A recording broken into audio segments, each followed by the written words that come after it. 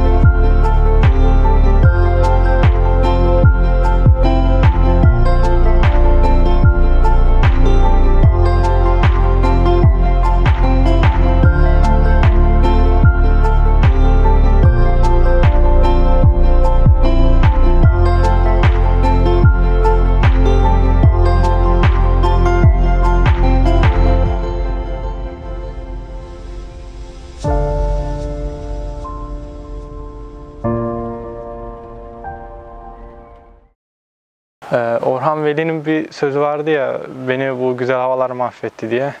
Beni de kullanılmış, üzerinde iz kalmış eşyalar mahvetti diyebilirim. Ee, Sait Faik'in uyumuş olduğu yatağı gördüm.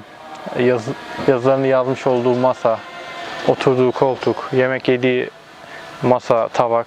Ben bunlar beni etkiledi. Yani orada tanıdığımız, bildiğimiz bir insanın geçmiş olması, izlerinin olması na tanık olmak çok güzel bir duyguydu.